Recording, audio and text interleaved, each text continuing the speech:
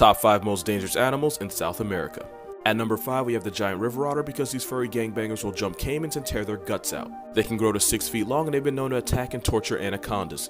Number 4 is the bullet ant because its sting is one of the most painful things you can live through and if a whole nest presses you, you're gonna wish you had a bullet to put you out of your misery. Coming in at 3 is the Brazilian wandering spider. The only thing worse than its venomous bite is the agonizing 4 hour erection that follows along with rapid heart rate paralysis and your soul filing for unemployment. At number 2 is the biggest snake in the world that isn't your ex, the green anaconda.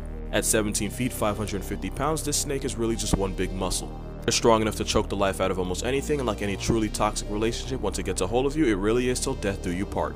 Number 1 is a jaguar for many reasons. These all-stars can run, jump, swim, climb, do all the things you'd expect from a cat while weighing 250 pounds.